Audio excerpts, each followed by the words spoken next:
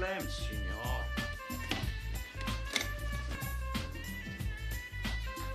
Ima problema, ako što vidiš. Ima mnogo problema. Ovo vas? Jes. Ova puna je nasa. A ova prazna je vasa. ja, ja, ja pogrešila. Pogriješila.